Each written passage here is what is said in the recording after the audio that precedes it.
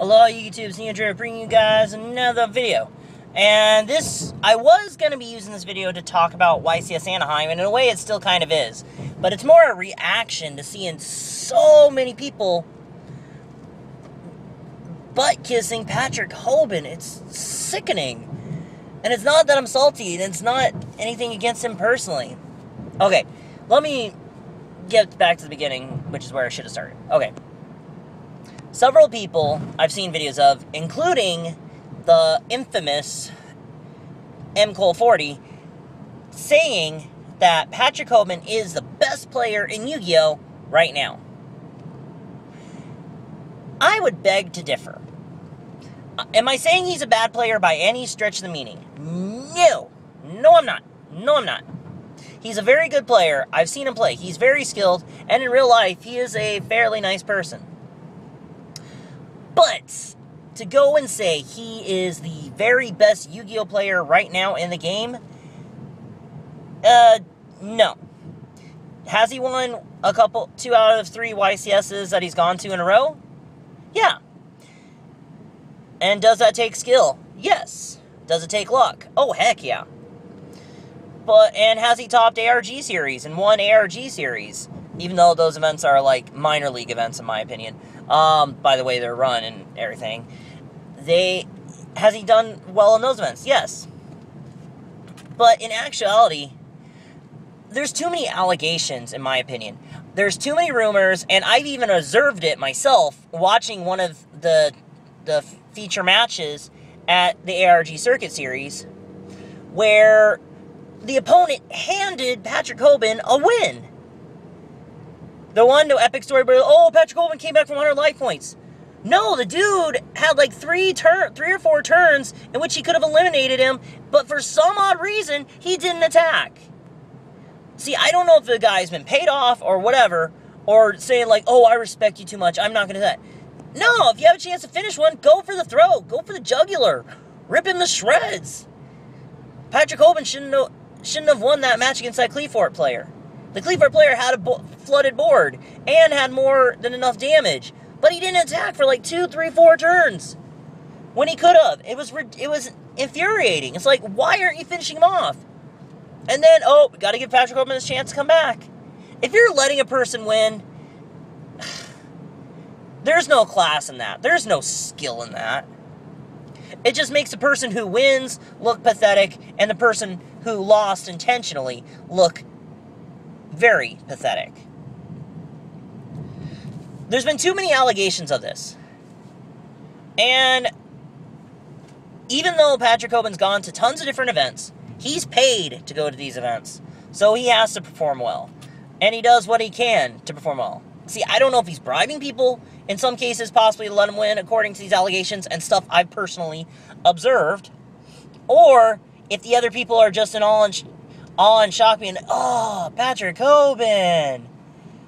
My goodness, people, stop lowering, making yourselves look pathetic and making him feel higher, glorifying him as if he's a god. Newsflash, he ain't no god. You guys may, and people in response to this video may thumbs it down, and that's fine. Their haters are gonna hate. And I'm not trying to be salty or anything. Because if I had the money to go all these different events, I'd want to do the best I could as well. But I'm not going to bribe somebody to let me have a victory, nor, nor would I prefer to have them just give me an automatic victory. It's, it's kind of insulting. Well, not kind of, it out and out is insulting. And it just demeans the game of Yu Gi Oh! that I have been playing since day one when it came out.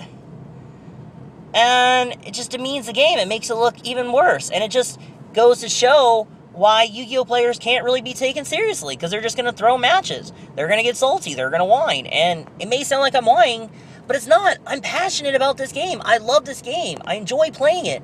I've enjoyed g- getting to travel the few times when I've been able to save up money to go different places um, to get to hang out with friends, get to duel all sorts of different people, trade, sell all kinds of stuff. I've enjoyed get, I enjoy getting to do that. I have a passion for it. And to see people just ruin do things that ruin the game. It's insulting and infuriating. Again, I'm not saying Patrick Hoban's a bad player. I've seen him play. He is skilled. But the fact of the matter is seeing and hearing allegations and witnessing it on ARG's Twitch feed myself begs a better question. Is Hoban really the best player right now? According to the evidence, no, he's not. Is he the most famous, or in some cases, infamous player in Yu Gi Oh? Well, I'm going to leave that for you guys to decide.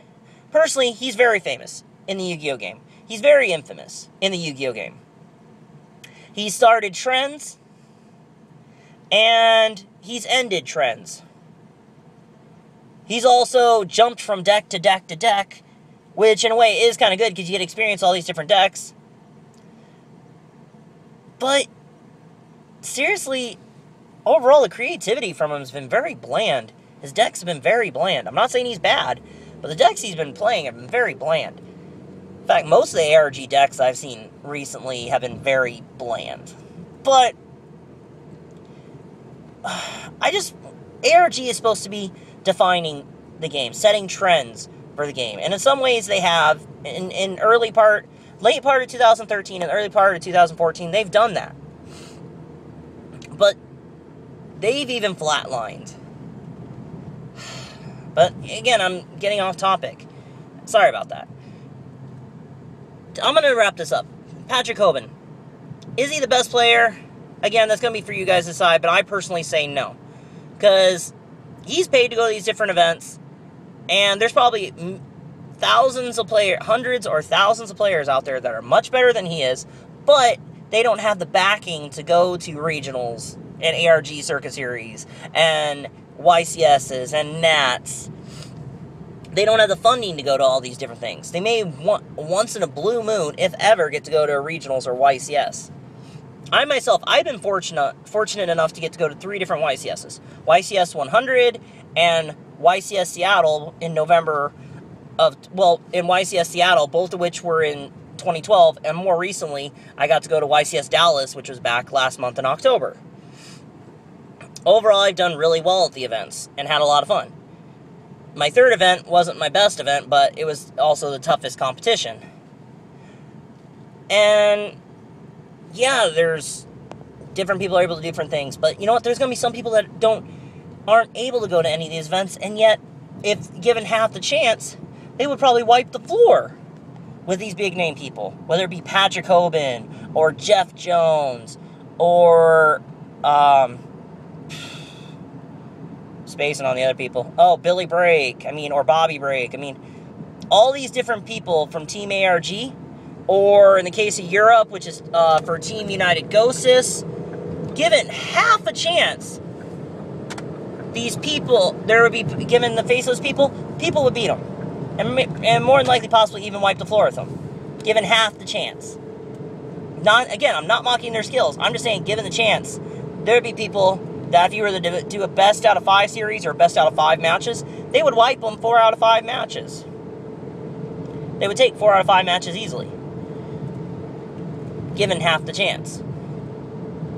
But again, that's all hypothetical situations and cannot be entirely 100% proven. You just go on what the track record is of people, of all these different people that have done well at these big events.